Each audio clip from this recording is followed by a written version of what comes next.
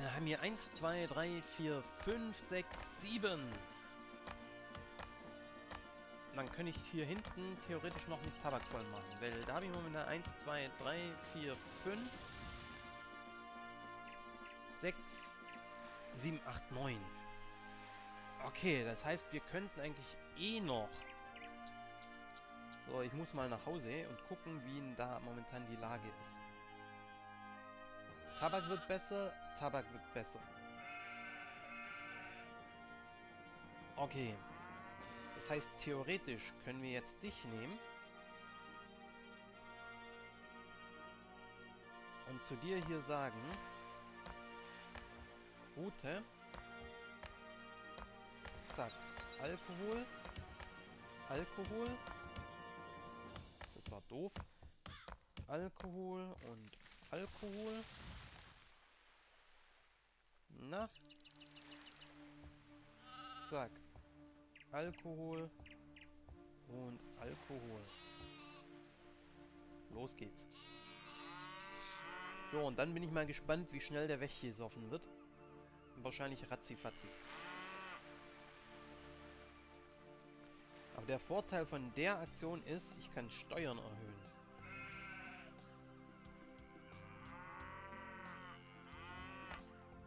Zumindest solange ich immer genug Alkohol-Nachschub habe. So, Steine müsste es auch wieder geben.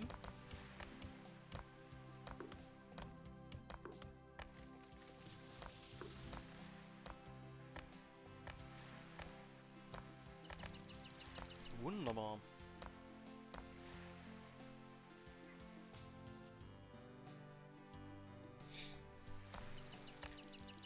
Okay, ähm, kann ich theoretisch jetzt hier den Kontor aufwerten? Ja, es fehlt mir nur noch Holz. Nein, es fehlt mir Steine.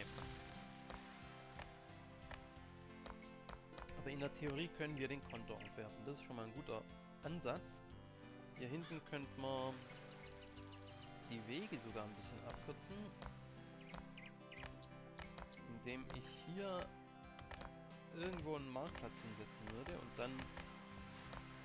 Also das wäre mit dem Marktplatz dann so... Den würde ich natürlich längs hinsetzen wollen. Finde ich zwar voll die Verschwendung vom Platz, aber was soll's.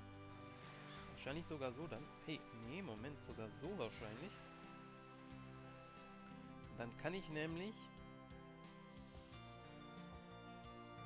dich da hinsetzen. Genau. Dann hätte ich dann noch eine Tabakfarm.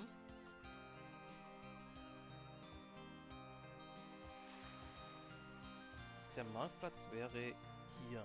Das ist das Dreierfeld. Und der geht ja auch nur bis zu diesem einen Baum. Genau. Das wird exakt passen. Und zwar von beiden Seiten. Das heißt, das könnten wir in der Theorie tun. Ausgaben sind 480 hier. Ich mach gerade... Ja,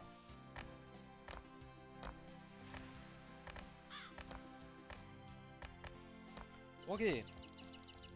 Geld haben wir Spielstand noch. Geld gespeichert. Das ist noch gar nicht so schlecht. Ähm...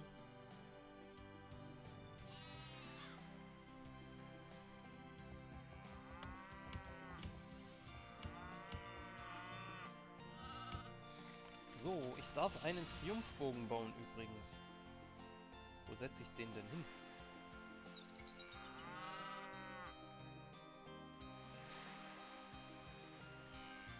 Irgendwo, wo ich Platz über habe. Da. So, und ich soll mir ein Denkmal setzen lassen. Wollten die mir nicht ein Denkmal setzen? Ah, wahrscheinlich schon wieder rum.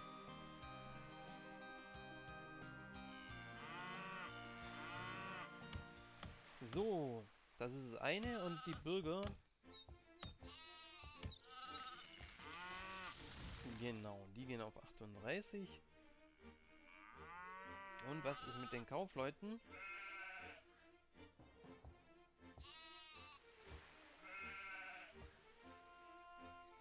Die gehen auf 36. Perfekt. So, wunderbar. Apropos, dich können wir ja jetzt wirklich abreißen. Ich glaube nicht, dass ich noch Erz kriege. Und Stahl ja auch nicht. Dann kann man dich eigentlich auch abreißen. Ähm, Im Grunde ja.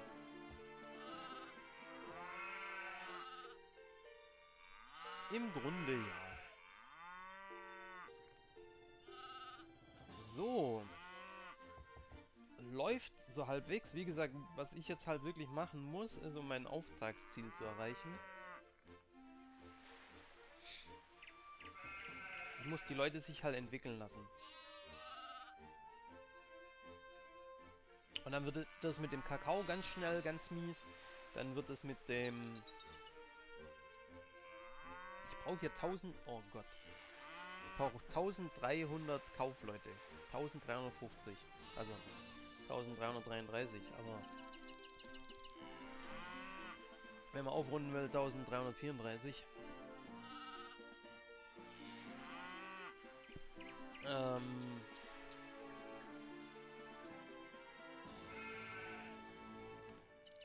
Genau. So, aber bisher läuft's gut. Die Sache mit dem Alkohol, die muss ich halt im Auge behalten. Weil der Alkohol da oben natürlich nicht so schnell nachproduziert wird, wie er wahrscheinlich da unten weggesoffen wird. Kann natürlich auch sein, dass es jetzt erstmal der Anfang ist, weil sie jetzt selber erstmal total happy sind, dass es überhaupt Alkohol gibt. Juhu, Alkohol! Ähm,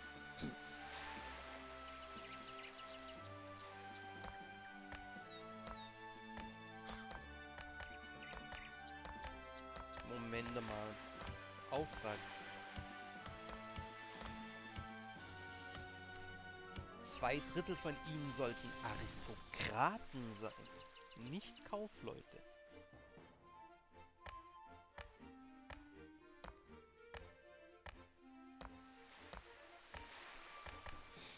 Das macht's ja immer besser.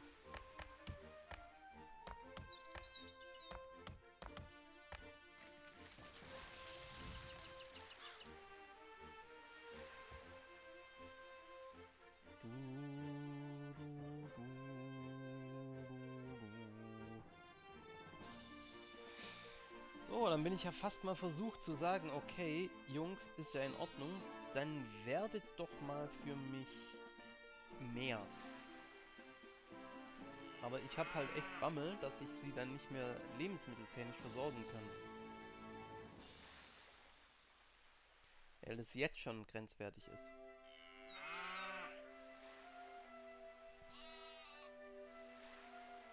Vom Alkohol ganz zu schweigen.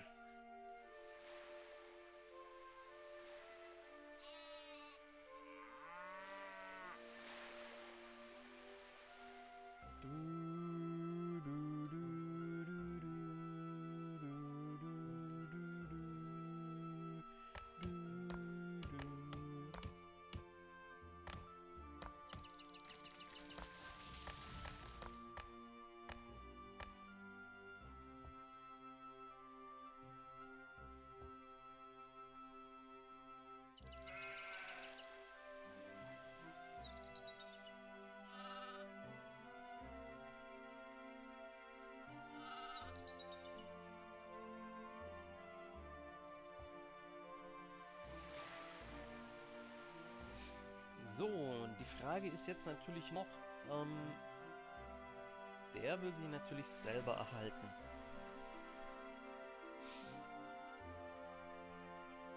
Der hätte Alkohol. Welcher ist denn der stärkere von den beiden?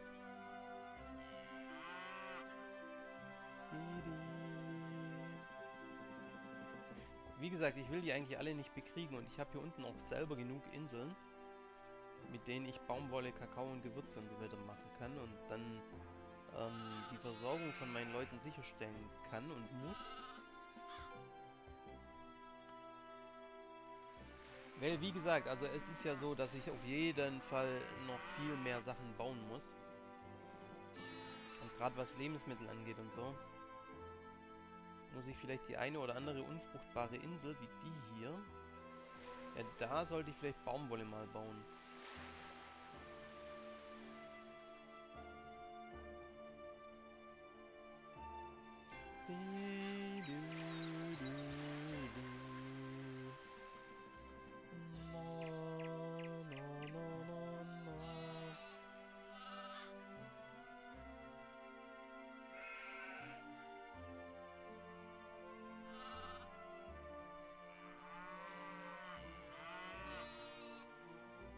Okay, gut.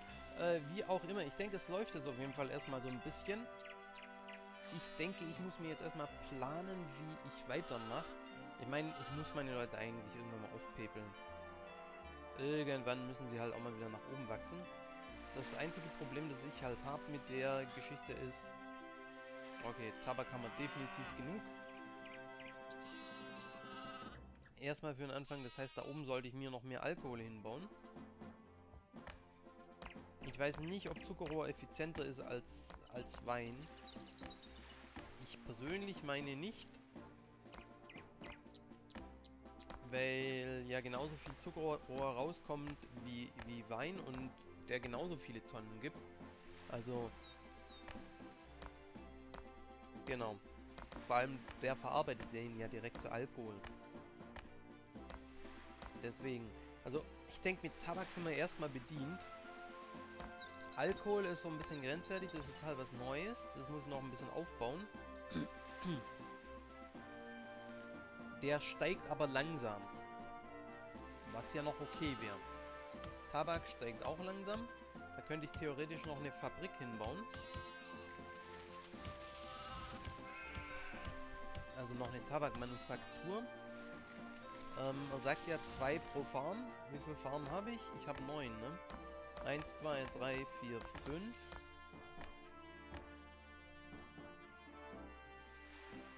Das heißt, eine kann ich auf jeden Fall noch bauen.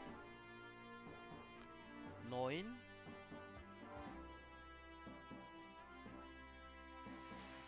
Eine kann ich auf jeden Fall noch bauen.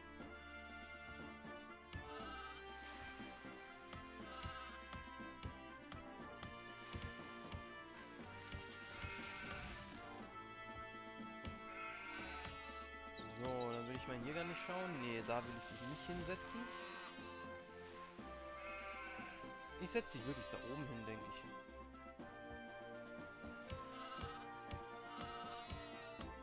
So. Genau. So. Dann können wir da noch mal ein bisschen Tabak produzieren.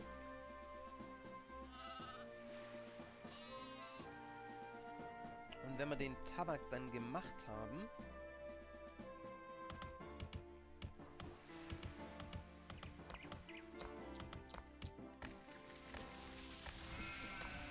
den theoretisch auch für den Anfang verkaufen. Die Gewürze, das kann man lassen. Den Lebensmittelverkauf kann man eigentlich lassen.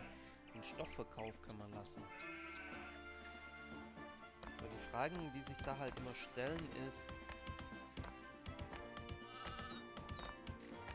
wie schnell wächst der Spaß? Also beim Kakao mache ich mir keine Sorgen die Stoffe.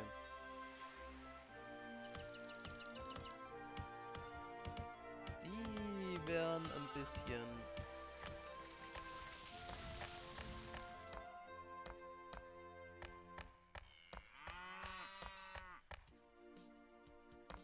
So, das Holz können wir von mir aus einfach wirklich... Das Volk bekommt kein Baumaterial. Das weiß ich doch. Ich weiß doch, dass das Volk kein Baumaterial bekommt.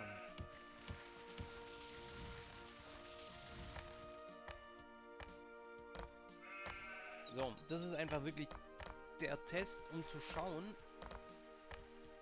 wie schlimm es mit diesen jeweiligen ähm, Bedürfnisgütern ist. Alkohol brauche ich definitiv mehr. Also das schreibe ich mir vielleicht auf.